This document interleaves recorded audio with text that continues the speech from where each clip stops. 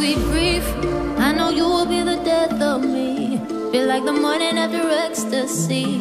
I am drowning in an endless sea. Hello, old friend. It's a misery that knows no end. So I'm doing everything I can to make sure I never love again.